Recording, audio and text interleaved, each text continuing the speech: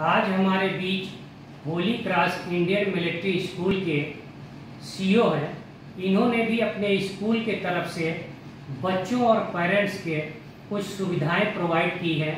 आइए इनसे पूछते हैं इन्होंने क्या अपने बच्चों को और उनके पेरेंट्स को क्या सुविधाएँ प्रोवाइड की हैं?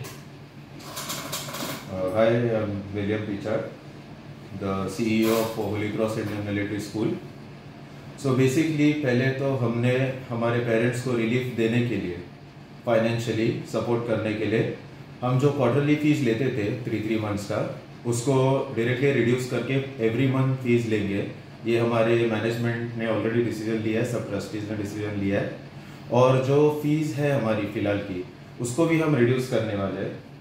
और जो एडमिशन फ़ीस आने वाले करिकुलम के लिए है, हम उसको टोटली फ्री वाले इस स्कूल के अलावा विलियम जी आप इस आपदा की घड़ी में हम्म। और कौन कौन सी सहायताएँ लोग को पहुँचा रहे हैं? सर अभी फ़िलहाल 11 दिन से जब से कोरोना महामारी शुरू हुई है तो हम डेली का 400 से 500 लोग का राशन हम देते हैं। तो ये एक दिन के लिए है कि ये लगातार ये जब तक ये महामारी खत्म नहीं होती तब तक holy cross Indian military school और ये स्कूल के जो फाउंडर है जेम्स थॉमस पिचार्ड और प्रिंसिपल हम सब मिलके जब तक ये महामारी खत्म नहीं होती, तब तक ऐसे ही हेल्प करते रहेंगे। ये हमारे बीच में आपने देखा holy cross Indian military school के सीईओ की बात।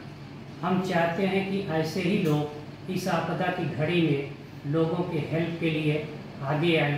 कैमरा पर्सन अमित साहू के साथ महानगर समाचार के लिए अशोक निगम।